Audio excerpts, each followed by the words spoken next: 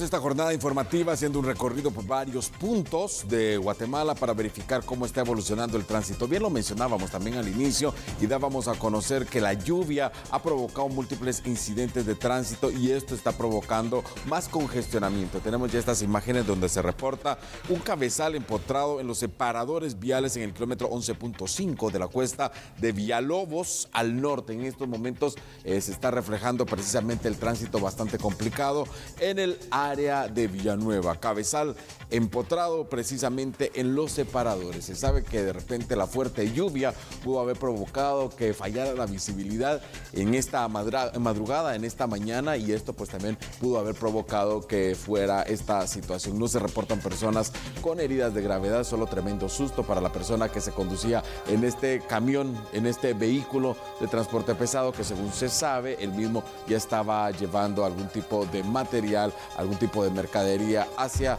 la ciudad de Guatemala. Así que por favor tómelo usted en cuenta. Así está la situación en el tránsito de Villanueva. Además, se está coordinando para retirar un bus, otra situación en esta ocasión, pero este con desperfectos mecánicos en la subida de Villalobos. Al parecer este vehículo, pues que transportaba varios pasajeros, ya no pudo continuar su marcha, así que en estos momentos eh, quedó atravesado para las personas que se dirigen en la subida de Villalobos, en la cuesta de Villalobos Lobos ha sido realmente un punto o un tropiezo para las personas que se conducen en este sector porque esto está provocando mayor lentitud.